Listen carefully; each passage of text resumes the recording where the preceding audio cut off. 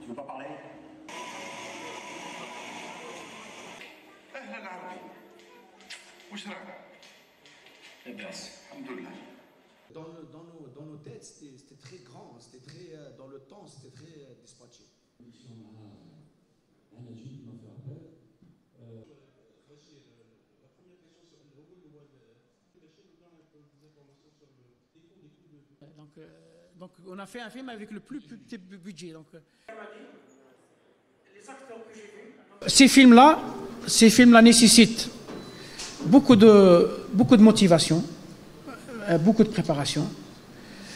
C'est parce que quand on fait un film comme ça, on est responsable. On est responsable envers la mémoire, parce que c'est- quand même euh, une grande responsabilité, même pas uniquement pour les acteurs, pour les auteurs qui ont écrit le scénario, pour moi, pour le Il fait, le film va rester pour des générations et des générations. Quand on fait un film, donc on va mourir, mais ceux qui viennent après, ils, va- ils vont le voir à la télévision, ils vont le voir dans les cinémathèques. C'est-à-dire que c'est un- c'est un, c'est un patrimoine. Euh, L'Abab El Mehdi il m'a rendu, il m'a rendu plus sage, plus, plus calme. وفي التمثيل في التمثيل لا- لا- لا- le, le, le personnage de l'Abab El Mehdi euh, أنا أنا dans ma vie je suis très nerveux, très rapide, je parle très vite. Il m'a appris à parler calmement.